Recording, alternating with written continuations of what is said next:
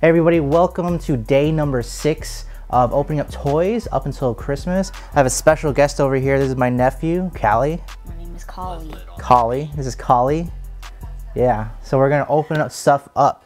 So I got Kali this here, right? But he can't open it. He can't open it yet because it's not Christmas. So too bad, buddy. But you know what? I can open, I can open mine. So this is a really big one.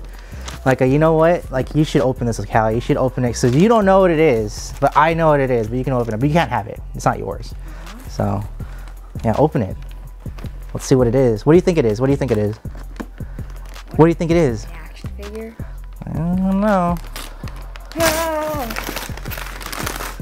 Whoa. Ugh. You want to keep it? The wrapping paper? No, I don't want to keep the wrapping paper.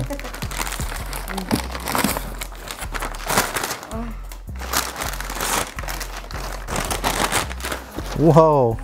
What is that? Show it to the camera really quick, the front part.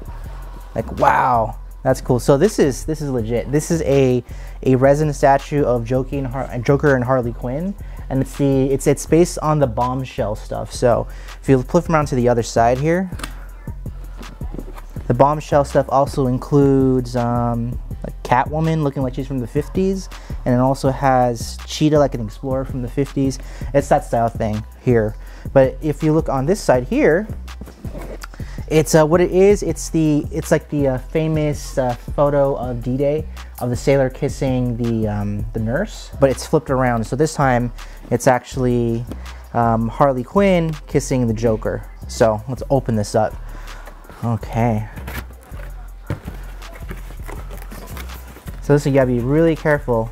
Now the cool thing about this one here is that I got this at GameStop. And original price for this thing is 250 bucks. You gotta be careful with this, all right, buddy?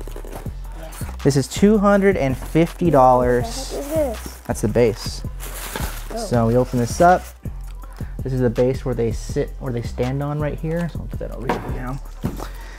And this was clearance to $180, I think, over at GameStop. And then the one uh, recently they had 50% off all clearance items at GameStop. So I got this out of the door for $97. This what I found. Oh, that's the front part. So that goes over here. See, there's a magnet. Oh, I put that there. So this is cool. Like, look at that. Just like a high quality resin model. Really cool. Looks like the Joker's dead. kind of is dead. He's all white and everything. So there's there's great attention to detail over here. Even the ner- even uh, Harley Quinn with her nurse badge, the print is really fine on it, so you can actually see it a little bit. Goes into the base like so, so you can display it. So really great high quality resin right here. Um, really happy that I found this because it I've seen this for a while now and it just had a fantastic price and I just had to get it. Um, no questions asked. And it was crazy because it was literally like two days before the uh, toy show, you know, and looks really good. Really like it a lot. Really? I'll definitely be posing that next to my sand, my uh, my death resin figure and my ARTFX flash. So that's gonna look really tight. So there you have it. That was our unboxing of the Joker and Harley Quinn DC Collectibles high quality resin model here. It's also a numbered edition, apparently, but I don't he's know. Yeah, so 2547 of 5200 models. So that, what that means, Kali, is that there's 5200 models of these released worldwide. And this is number 2547. So I have a few other ones where there's like only 2500 of them in the world and I have like number 400, etc. So if you get like a number one, then it's extremely rare because it's literally right off the press. Those are going to be more expensive because those are like uh, first uh, first editions, sort of. So this is not first edition. It's like in the 2000 range, but still really nice. I like it a lot.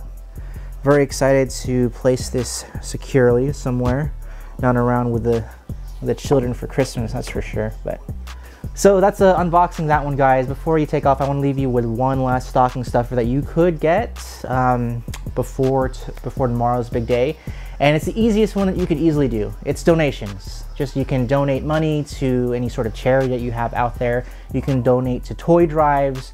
Um, I've shot a lot of those for video stuff, and even just seeing these kids and these families who can't even afford to buy toys, it means the world to them to just be able to buy, it, just to be able to get a toy for free. So definitely check out to see if there's any last minute toy drives that you can donate to. You can do them at Toys R Us.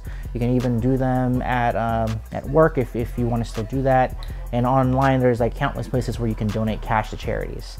So until tomorrow, guys, tomorrow is going to be the big unboxing where I get a lot of toys from all my friends and family, and I'm excited to, to share that with you guys. See you next time, guys.